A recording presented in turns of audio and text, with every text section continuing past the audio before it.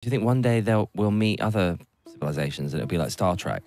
Well, that's the thing. I mean, so I- I'd guess no. I mean, we don't know, but uh, we've looked a bit out. You know, we, we do have a thing called SETI, so we look for radio signals and things.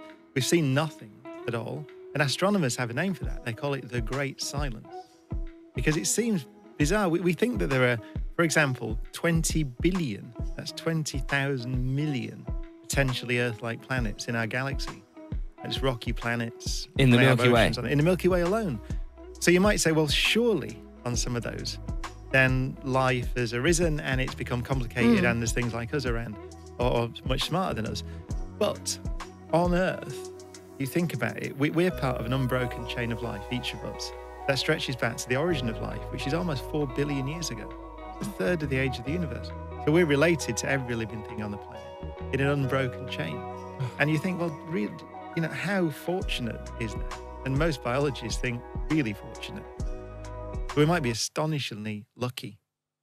That we're even So here. beautiful. That is Yeah. so beautiful, isn't it?